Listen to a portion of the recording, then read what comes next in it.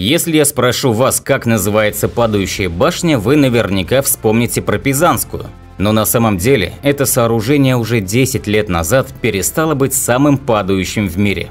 Небоскреб Capital Gate имеет гораздо больший угол наклона. Это здание попало в Книгу рекордов Гиннесса и официально считается самым падающим в мире. О том, как был построен падающий небоскреб, я и расскажу вам в этом видео.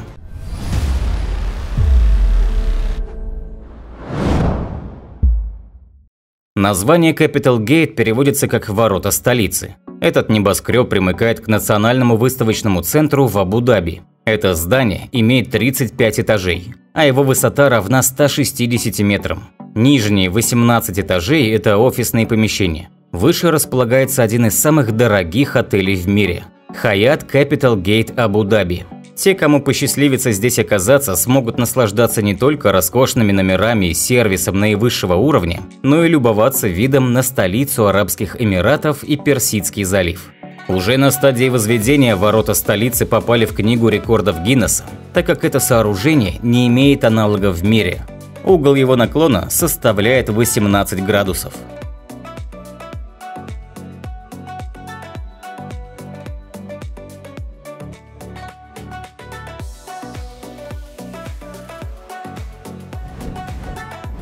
Эмират Абу-Даби – это самое крупное и богатое из семи государств, которые в 1971 году образовали Объединенные Арабские Эмираты. Хоть страна и объединилась, но каждым эмиратом управляет свой эмир.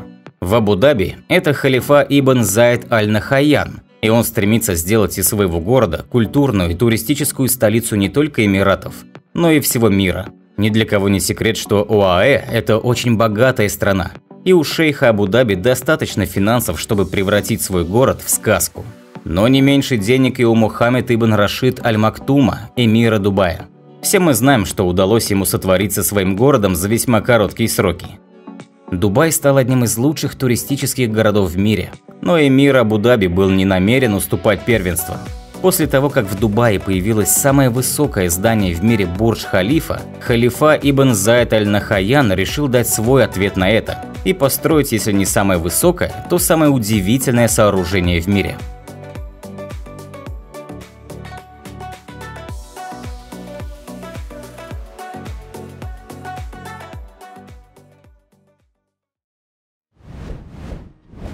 Эмир Абу-Даби мечтал, чтобы ворота столицы стали визитной карточкой его города и неким архитектурным символом превосходства над соседними эмиратами.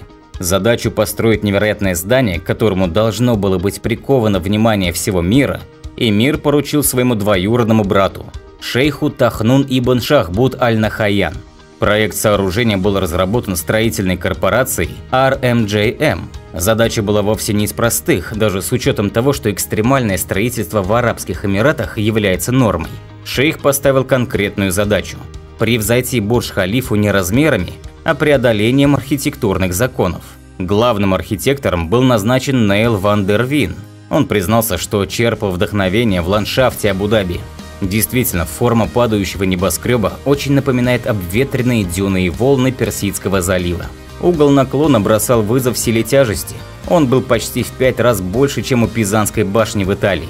Ни один угол небоскреба не должен был повторить другой.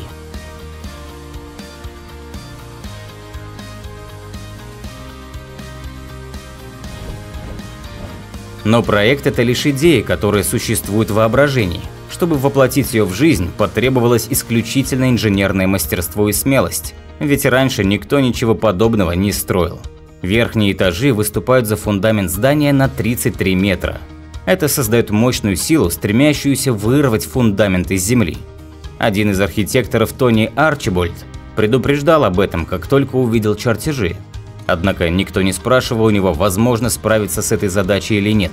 Ему нужно было самому придумать, как удержать здание в вертикальном положении. Работа началась глубоко под землей. Нужно было установить 400 бетонных свай, которые выполняют две разные задачи. Половина свай должна передавать нагрузку, созданную вылетом в землю. Остальные сваи забили глубже, до скального основания. Они должны были препятствовать растягивающим силам, стремящимся вырвать здание.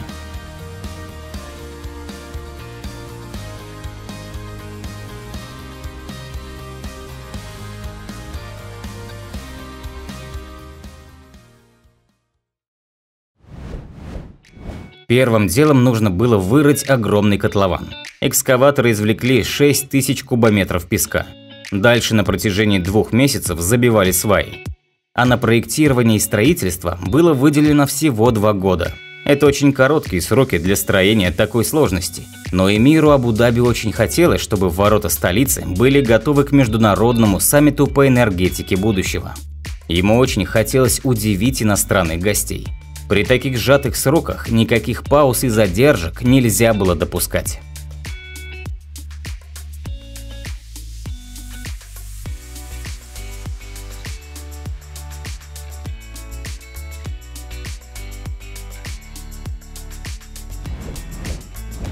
На строительстве фундамента трудности не закончились. При строительстве надземной части инженерам тоже предстояло решить ряд вопросов. Если обычный небоскреб опирается на центральное ядро, то из-за формы ворот столицы ядро треснет, а само здание опрокинется. И вновь пришлось отказаться от стандартного мышления. Инженер по строительным конструкциям Мона Васи придумала новую революционную технологию – Ядро должно было быть построено с кривизной в противоположную часть наклона здания. Во время строительства растущий вес здания выпрямит ядро. При строительстве использовалась технология под названием переставная опалубка. Ядро росло со скоростью 4 метра в неделю.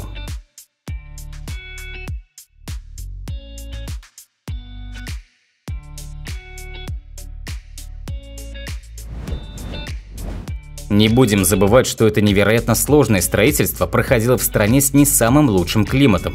Арматуру монтировали в дневное время, но температура в 50 градусов по Цельсию плохо сказывается на свойствах бетона. Он слишком быстро высыхает и может треснуть. Чтобы бетон застывал с правильной скоростью, его приходилось лить ночью, когда температура ниже.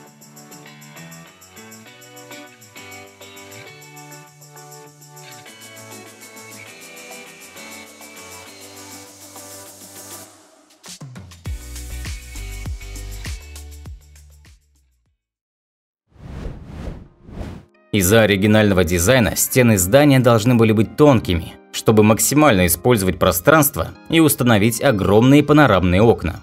При строительстве диагональной сетки было решено использовать принцип куриного яйца. Скорлупа очень тонкая, но при этом довольно прочная.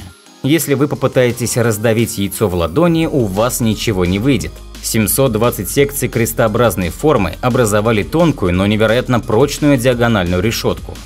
Все вместе крестообразные секции равномерно распределяют силы по стенам здания. Кроме того, этот каркас должен был поглощать и перенаправлять силы ветра и сейсмической активности. Эта технология позволила сделать каркас достаточно тонким и легким. Диагональную решетку собирала бригада из 240 рабочих.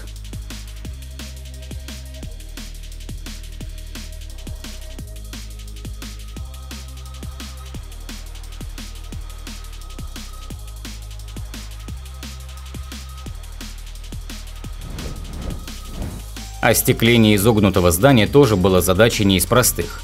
Оказалось, что инженерам усложняли работу любыми способами, ведь на изогнутые стекла бюджета не хватало. Инженерам нужно было придумать, как застеклить фасад более дешевыми плоскими стеклянными рамами. Пришлось использовать технологии, основанные на древней греческой геометрии. Чтобы создать сложную фигуру прямыми линиями, необходимо использовать треугольники – на местном стекольном заводе было изготовлено 26 тысяч треугольных рам. Обычно стеклянные фасады рассчитаны на минимальное перемещение из-за ветра и температуры.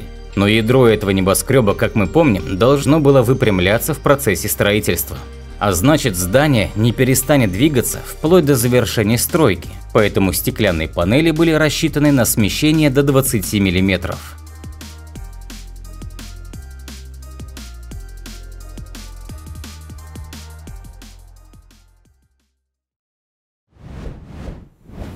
За полгода до конца строительства инженерам сообщили, что необходимо организовать вертолетную площадку на крыше здания.